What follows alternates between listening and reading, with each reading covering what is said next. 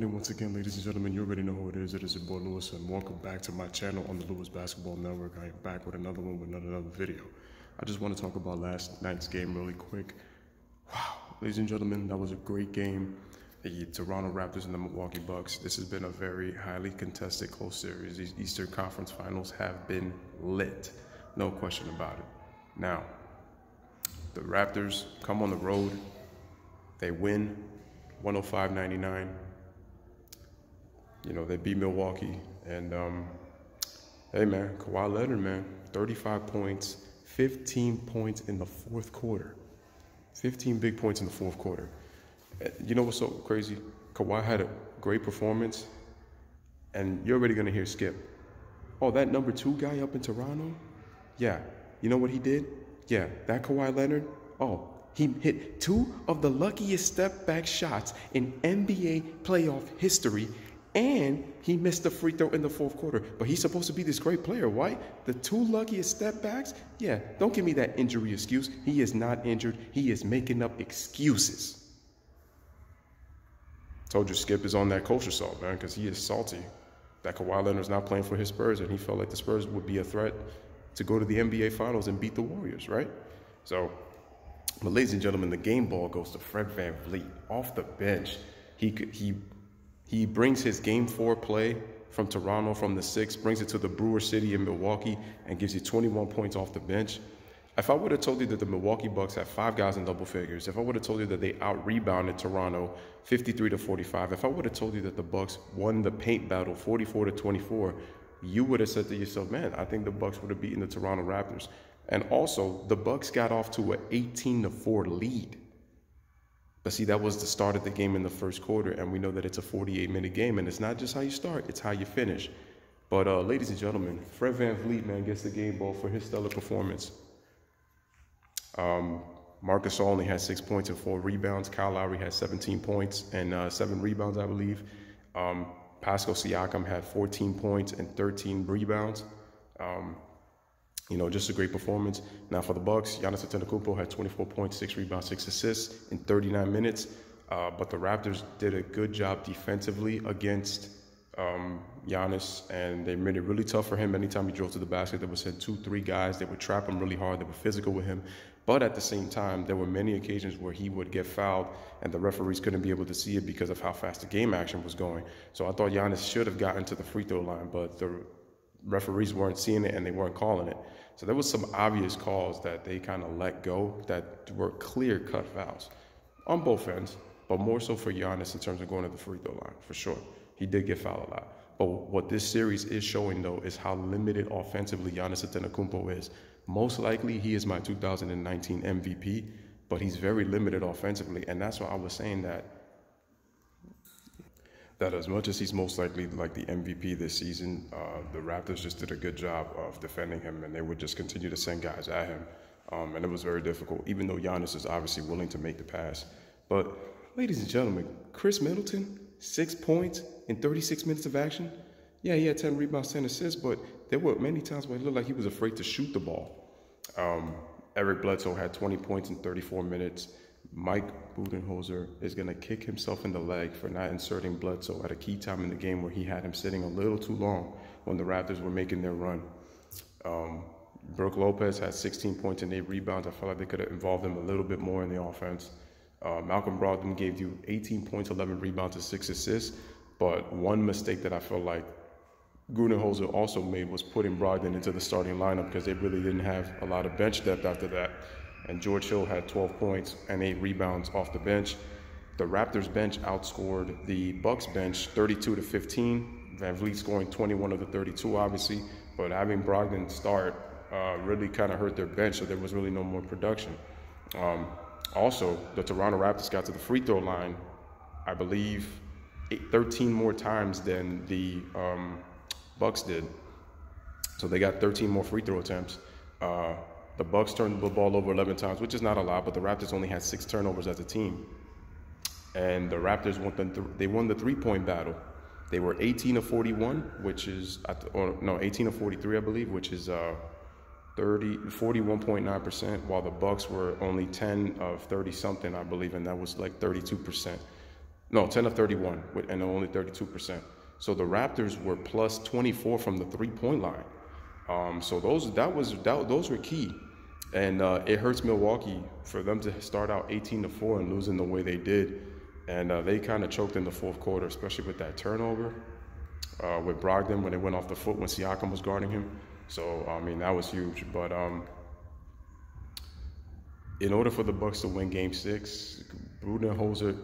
And another thing that I didn't like from the Bucks that I saw last night, they stopped moving the ball in the second half, and they were playing a lot of one-on-one, something they had not been used to doing, and it was feeding into. It was making it easier for the Raptors to defend them when uh, when the Bucks would go one-on-one. So uh, I need if they're gonna win on the road, they're going to have to share the ball. And what's crazy is they had more assists than Toronto, 25 to 19 for the game. But you wouldn't be able to see that, right? Stats will tell you the Bucks were moving the ball. But if you watch the game, especially in the fourth quarter, they were going a lot of one-on-one. The Raptors did a better job of swinging the ball. And listen, yo, Kawhi Leonard hits two amazing step-back three, threes. Like he, like Ka- Kawhi's, yo, he's come out that Kobe 101 and just come out and just I think Kawhi Leonard upgraded to Kobe 202 with the way this the brother's playing, and it won't be long until he's he's in Kobe 303. So it's like I already see it, man. Like yo, he's just upgraded his game.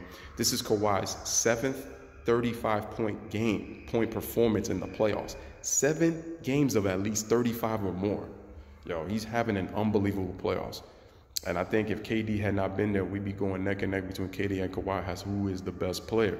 I still think it's Kevin Durant, me personally, but I think Kawhi just put himself at that number two spot right there.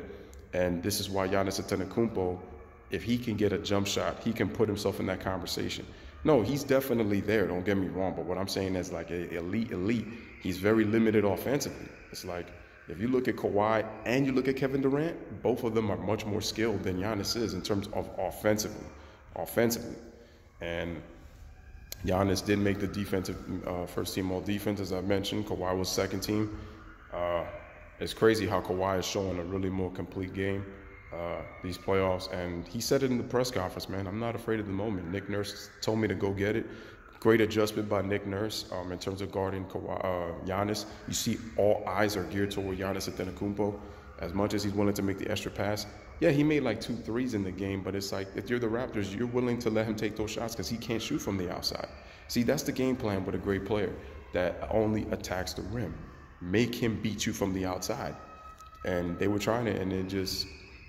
And also, like I said, he was breaking free throws like he was Shaq out there, man. So it's just like.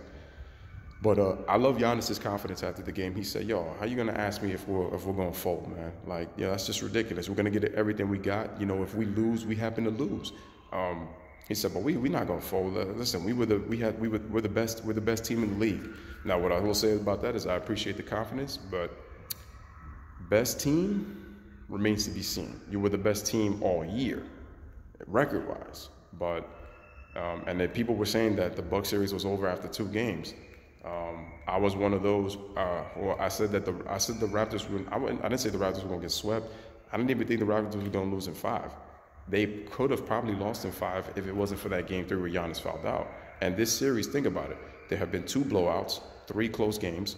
The Raptors had a double-digit lead in Game One. Bucks come back and win off the stellar impact that Eric Bledsoe have, and his three for 12 wouldn't tell you that when he scored nine points. Also, the Bucks had a double-digit lead in this game, and the Raptors came back and won it. That's why I'm telling you the series could have has could have gone either way. To be honest with you, ladies and gentlemen. But the Bucks showed inexperience in the fourth quarter, and Budenholzer made a very big coaching mistake. Uh, and he should have emphasized ball movement, which the Bucks were not doing in the fourth quarter. They were going too much one-on-one, and then just starting to just shoot threes. Late in the game is when they wanted to attack the basket, but they need to move the ball. The Raptors did a better job of moving the ball, even though the assist totals wouldn't tell you that because the Bucks had six more assists than the Raptors did, 25-19. So that's what I'm trying to tell y'all, ladies and gentlemen. It's like everything has context. Stats tell the truth, but they don't tell you everything, not the whole story. That's what I be telling y'all, ladies and gentlemen. It is what it is, man. But this is like what I'm saying, man. I honestly think the Bucks are gonna have to. They're gonna bring their. They're gonna bring their A game. They're gonna have to bring their A game in Game Six. And if you're the Toronto Raptors, think about this. This is the first time that you've ever been in this kind of position Think about it. you have a chance to go to the NBA Finals. It was so crazy that Drake started trolling the the Milwaukee owner, the Bucks, the Milwaukee Bucks owner's daughter. Like, this dude is all over the place, man. Yo, Drake and his antics. Watch Drake come out with a rap freestyle after Toronto wins Game Six, or even if the Raptors lose the series in seven, he'll still come out with a track regardless. Um, but the Raptors are in uh, they're in great position. Um, the series is not over. It's the first team to four. The Bucks have a chance to make history, go on the road and win in Game Six, and come back and bring it to Milwaukee. If you're the Raptors, you don't want to go back to Milwaukee because it's most likely that they're not going to win. Do you have a chance? Yeah, they do. Um, but once again, like you have to understand, if you're the Raptors, this is your Game Seven. Besides, with the amount of minutes that Kawhi Leonard's playing and how hobbled he is right now, even though Skip keeps making up making up crap thinking that Kawhi's not hurt. Listen, you have a chance to get at least four to five days of rest if you win on Saturday. This is huge. You lose Saturday, you have to play on Monday. That's a minus two days of rest. And and the Warriors are going to be fully rested, despite that they're not going to have KD and Giannis and um and Boogie at the start of the finals. So you got to think about that. If you're the Raptors, you need to put it all out there and eliminate the Bucks now. Try to be the one of the teams in NBA history to come back from an 0-2 deficit to win the series in Toronto. And finally, people can say we the North are in the NBA finals. And just think Kawhi Leonard, what you would have done in one year that many Raptors could have not done in their careers, but that's not their fault because it's because of the way the teams were constructed and different time periods and, you know, teams that they were going up against. But the bottom line is, Kawhi Leonard has done more in one year in Toronto than people probably could have argued for. And the Raptors look more legit because of number two in the North, in the six. That got Drake all hype. Now Drake needs to troll and he needs to chill. He needs to stop his trolling and let the Raptors do their thing. And hopefully they could get it done and win game six. Because I, I really, it's crazy. But when I looked at the Bucks, I'm like, both teams give the Warriors problems on the defensive end. But I feel like the Raptors would be more consistent and more physical on the defensive end to the Warriors than the Milwaukee Bucks. And I think it's because you got to look at it this way, guys, too. Um, Kawhi Leonard is a former finals MVP and he won a championship.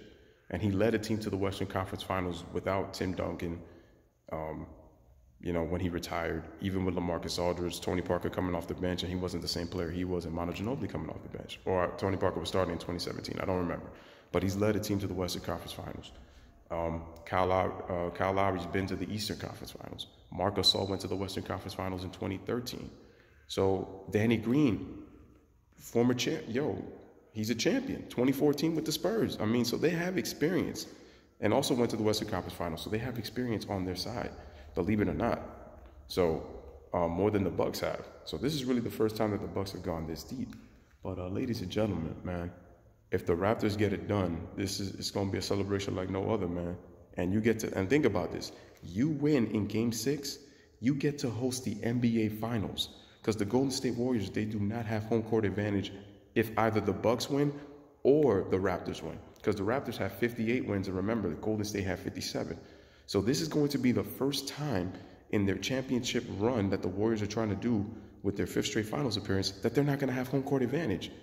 So if I'm the Raptors, this is my game seven. You need you need to bring it.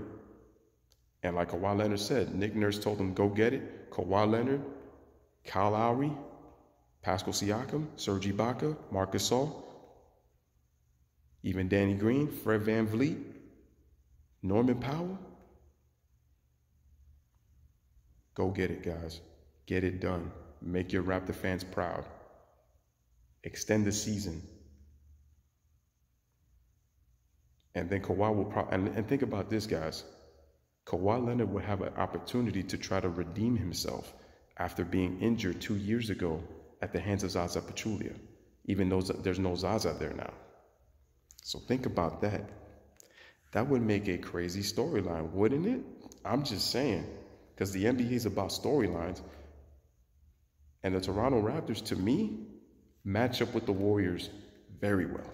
But anywho, this is your boy Louis, man, back with another video, man. Let me know what you guys think in the comments, man. As always, what you think about Game 5, and what do the Bucks need to do for Game 6, and what do the Raptors need to do for Game 6 in order for both teams to win? Do you think the Raptors close it out on Saturday, or do you think the Bucks bring it back to Milwaukee Monday night and close it out there and the Bucks win in 7? Or do you think the Raptors will win in 7 even if they lose Game 6? So let me know what you think. As always, bless up, one love, peace. Thanks for